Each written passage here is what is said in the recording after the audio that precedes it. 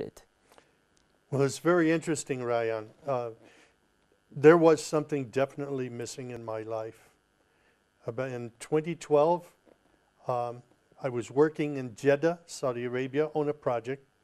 I was checking, I was invited to come and work on a project uh, translating or interpreting the Quran into modern contemporary American English.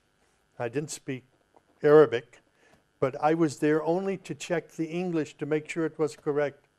And as I began reading the Quran, I had to do it for my work. My life was transformed. I saw hope. I saw mercy. I saw grace. For me as a sinner, for one who could be redeemed by the Almighty, Almighty Allah, I was very happy.